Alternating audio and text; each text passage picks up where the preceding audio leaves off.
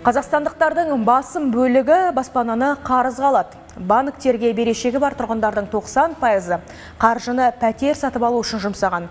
Арасында екі бөлмелі пәтерлерге сұраныс көп. Азаматтардың 40 пайызға жуығы қос бөлмелі баспананы сатып алса, 27 пайызға жуығы бір бөлмелілерді қанағат еткен. Ал 4 және 5 бөлмелі баспаналарға сұраныс аз. Отбасы банкі жыл басынан бері 771 миллиард теңгеге 46 мың несие берген. Елімізде мұндай қарызға 40 жастан асқан отбасылы азаматтар жүгінеді.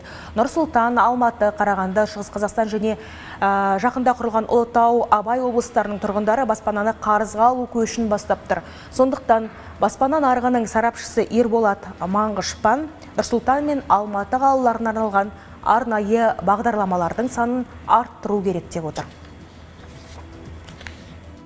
қазіргі таңда үйге мұқтаж азаматтардың көбісі екі үш балалы жанұялар болып кеткен екі үш баласы барлар екі үш баласы бар болғанға дейін олар үйге қолды жеткізбегендіктен енді бір бөлмелі үй емес олар екі үш бөлмелі үй алуға әрекеттенеді. Сондықтан қазіргі таңда екі бөлме және үш бөлмелілерге сұраныс өте көп. Үш бөлмеліге сұраныс екі бөлмеден қарағанда аздау. Неге? Өйткені үш бөлменің төлемақысы көп болғандықтан екі бөлме қолжетімді болып тұр. Ал бір бөлмеге қолжетімді болса да екі бөлмеге барлық талпынады. Сондықтан екі бөлмелі үйлер пәтерлер көп. Сол соларға сұраныс көп